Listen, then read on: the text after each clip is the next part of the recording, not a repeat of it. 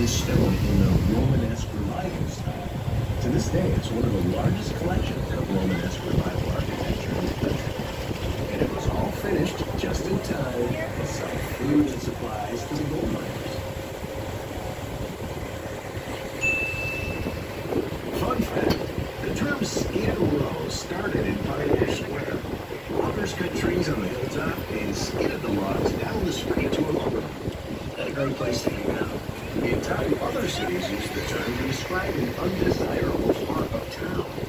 If you ever dreamed of ending up on Skid Row, just go to Yes Avenue in Pioneer Square, and your dream will come true. Now you see two stadiums side by side.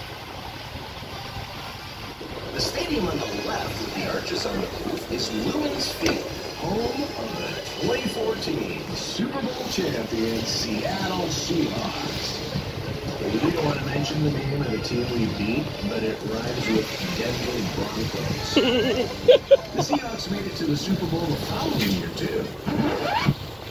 And uh, we don't want to talk about it.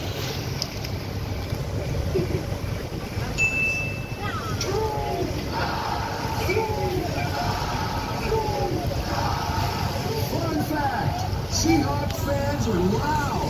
In 2013, the Guinness Book of World Records recorded crowd noise at over 137 decibels.